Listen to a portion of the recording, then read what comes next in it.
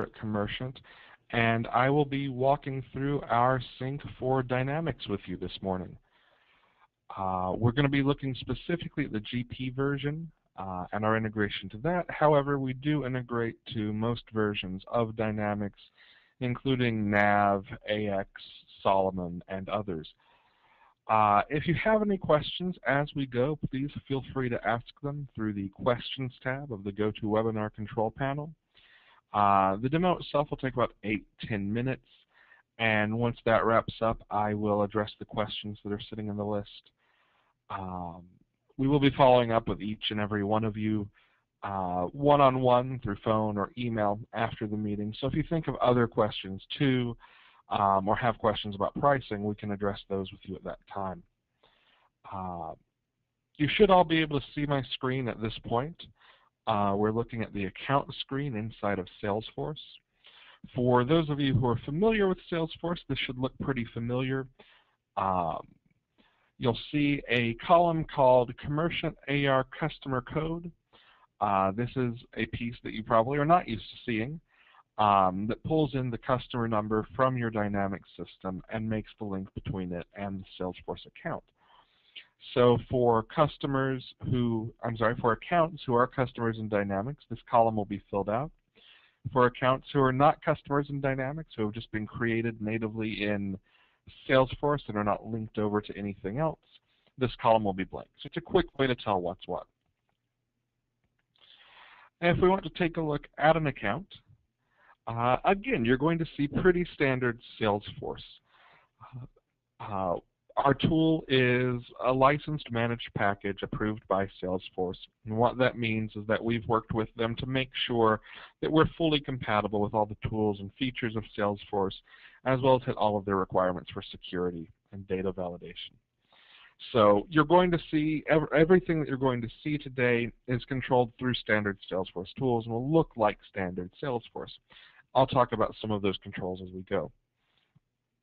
As we scroll down past the general header information on the account level, you'll see a series of related lists that are uh, uh, each linked to a table in the Dynamics database.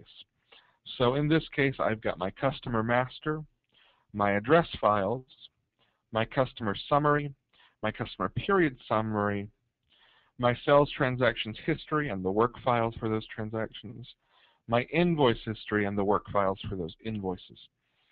Uh, each of these tables relates back, each of these lists relates back to a table inside of Dynamics. Um, all of these tables, all of these related lists are controlled through standard layout and security controls. So you can set how individual users or groups of users see the screens, which of these tables they see at this level, and at each of the levels as we drill down in a moment, which columns of data they show. Every column from the database table is coming in. Um, so I've chosen sort of very standard columns uh, uh, on my screen. But if there's a column, a piece of data that you want to show on here that you don't see on my screen, you can get it on there. It's just as simple as editing the layout for the related list.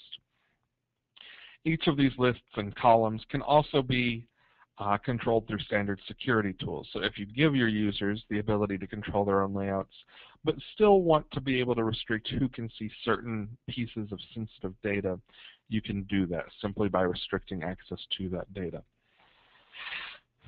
As we take a look at one of these, um, a sales order for instance, uh, you'll see on screen we bring in a lot of information. Again, a whole database table. Um, I think that's about 400 fields in uh, this particular table. Most of these in this additional field section, I'd probably recommend my customers hide. There may be one or two pieces they're using that I don't have good data for that they would keep or want to keep. That's certainly up to each user. Um, but what you see on screen is, is a pretty standard uh, sales order record screen for, for users using Traverse. So I've got my general header information at the top, what was the account, where are they located, how much is left on the order, when was it ordered, when was something back ordered, what's the ship date, and then a little bit of commission information. Um, at the bottom of the page, you'll see a couple of other related lists. Uh, the actual transaction history, amounts history table, so I can see what all's happened, um, as well as the user-defined track no work history table. And I can keep drilling down and digging into these records. Uh, you'll see in this case I've just got everything on screen here um, for the individual sales order detail line. Um, but I can lay out these the same way, hide the data I don't want to see, and again, that's using entirely standard Salesforce tools. Uh, everything always links back up to the uh, sales order, to the account, so that I can move whichever way I to to investigate something. Um, we've designed the system to be easily navigable as possible, so you may go into an account know exactly what you're looking for, go straight to that record, or you may need to look something up. You're a salesperson in the field going to go visit a customer. You want to see what their recent purchases are. Do they have any major outstanding invoices? Uh, are they ordering samples, maybe, that they're just not buying off of? Are you giving them free goods that aren't turning into orders? All of that kind of information uh, becomes immediately available we are fully compatible with the Salesforce One mobile app. So whether a user is on a desktop computer, on an iPhone, Android, Windows 8 device, anything like that, they can get in, see that information. Um, once you configure uh, once you configure the tool on the desktop platform, the mobile layouts are actually automatically taken care of. Um, so there's no extra setup for that either. Uh, all of the information that we do bring in uh, is still owned and controlled by Dynamics, but we do bring it in so that it behaves as a part of the native Salesforce database. What that means is if I want to look up a particular customer, part number, uh, invoice number, sales order number, any piece of data that's coming in, I can search on that and I'll see all the results in the system, um, whether they are information that is native to Salesforce or information that is coming in from Dynamics. I can see the accounts, all of the sales transactions, my customer masters, everything that we've seen so far is available on this page. I can lay out these pages like the others. I'm using standard tools to show a little more information on screen if I want to see that. Uh, and I can jump straight into any piece of information and get back to my account that way. Uh, in addition to being searchable, all of the data we bring in is accessible for report creation inside of Salesforce, for creating dashboards inside of Salesforce, as well as for any other third-party apps uh, that you buy through the Salesforce App Exchange. Uh, if they can make use of data that we're bringing in, such as an address for route planning, uh, then it's going to be there and available to them. Uh, and that really concludes the core functionality. There's a lot of information there. There's a lot of power there. Um, it's a very uh, quick setup, quick win, um, and it's pretty affordable. So if you're looking for a good way to get better information into your Salesforce's hands quickly, this is a great way to do it. Um, we can have you up and running with little input on your side, with little effort and little disruption. Uh, and really get some good information in your salespeople's hands. So on that note, if you have any questions, uh, I'll take them now, uh, and I'm happy to hang on a few minutes if, if uh, anyone's typing one right now or thinks of anything in the next couple of moments. I'll hang out here. Otherwise, thank you. Um, I appreciate your time, and I hope that you've liked what you've seen, uh, that it was helpful to you.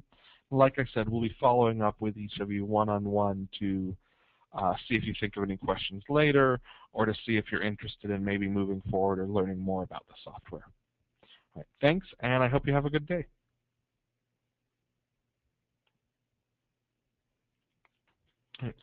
Uh, I have a question here. Can you create the invoice in Salesforce and migrate to AX?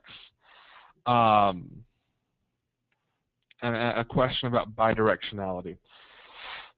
So we do have some bidirectional functions in our tools. Uh, what we're looking at today is just the core sync, which is one way, but there are a number of add-ons that let you write back to Dynamics.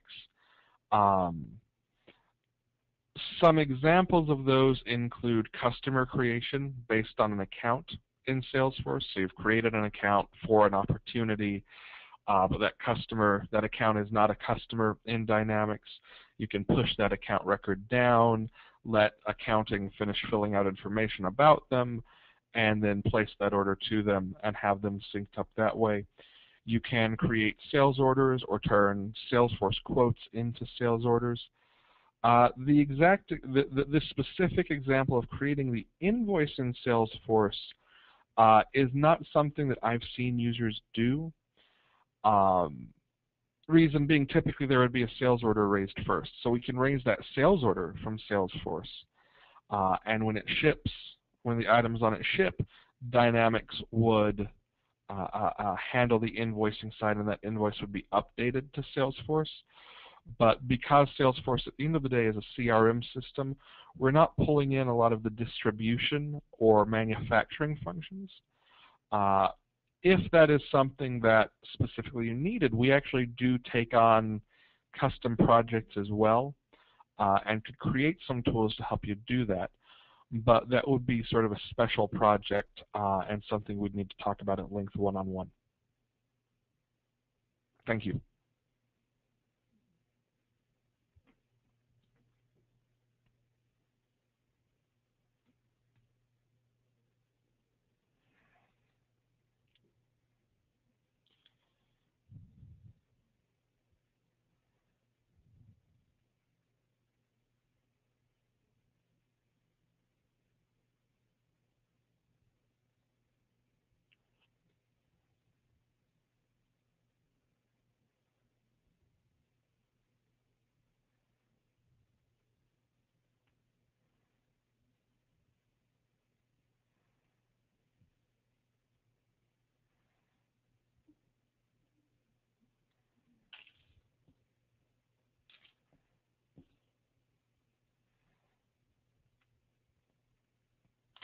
Right, it looks like that's about it for the questions. Um, so again, thank you for your time, those of you who've stuck around to hear questions.